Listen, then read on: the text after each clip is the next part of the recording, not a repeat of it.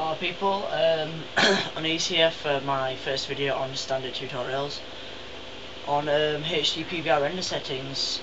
So um, here are the properties, you can pause it if you want.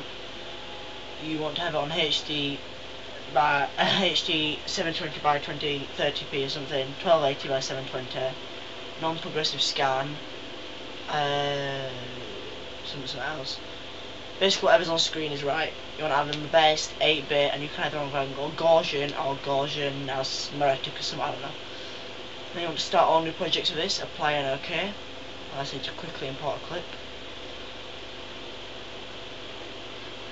Import my 360 cross on WMD somewhere. There we go. I tried playing it, but it's a bit laggy when um, I try to record it in Camtasia, so I fuck, fuck it.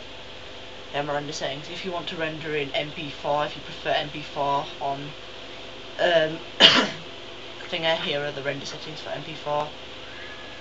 If you use, if um, you want to record your PVR in MP4, which is also compatible for Mac users, all those settings you just saw on screen are right. And here it is if you want to render in WMD, WMV which is quicker I think and um, you don't need a codec.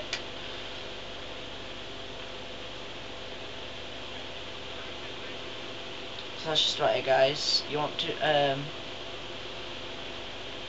yeah that's just about it. So um, thanks for watching. And there's my little message to you all. Okay thank you. Goodbye